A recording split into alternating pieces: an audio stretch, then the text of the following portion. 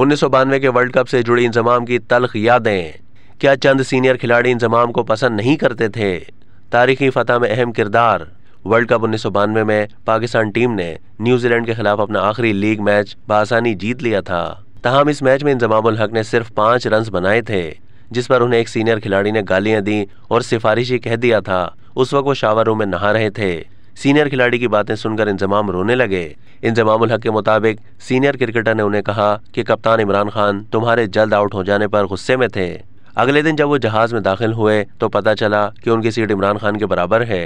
इंजमामुल हक ने एक इंटरव्यू में वो किस्सा सुनाते हुए बताया था कि मैं सोचने लगा कि मुसीबत आती है तो चारों तरफ़ से आती है। कल इधर से डांट पड़ी थी, आज उधर से डांट पड़ेगी। लेकिन जब मैं उनके बराबर जाकर बैठा तो उन्होंने कहा कि तुमने कल डैनी मॉरिसन को पुल शॉट पर ज़बरदस्त चौका लगाया था।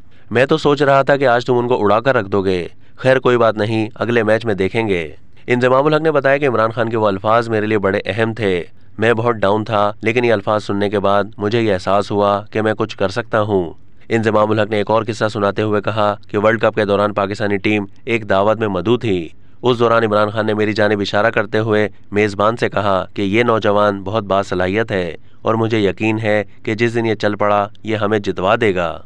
इंजमाम ने बताया कि मुझे याद है कि इमरान खान की यह बात चंद क्रिकेटर्स को अच्छी नहीं लगी थी और उन्होंने खौफनाक नज़रों से मेरी तरफ़ देखा था। फिर उसके बाद न्यूजीलैंड के खिलाफ सेमीफाइनल में इंजमाम हक ने सिर्फ़ सैंतीस गेंदों पर साठ रन की शानदार इनिंग्स खेली। हालाँकि इतने बड़े मैच से पहले उनकी तबीयत नासाज थी और फाइनल में भी बयालीस रन की ज़बरदस्त इनिंग्स खेली थी। इंजमाम के मुताबिक वसीम अकरम के साथ उनकी बावन रन की कीमती शराकतदारी टर्निंग पॉइंट साबित हुई। याद रहे कि पाकिस्तान फाइनल में इंग्लैंड को शिकस्त देकर पहली बार आलमी चैंपियन बन गया था।